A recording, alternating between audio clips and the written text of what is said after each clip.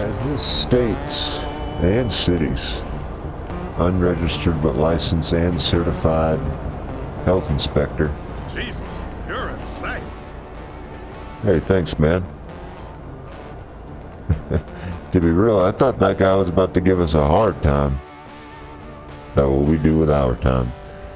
Doesn't appear so. Today we're going to be doing a random perusing of the neighborhood. And we're just going to look for health and safety violations. And you'd be surprised where these can come about. Just about anywhere in the city you can have a health or safety violation.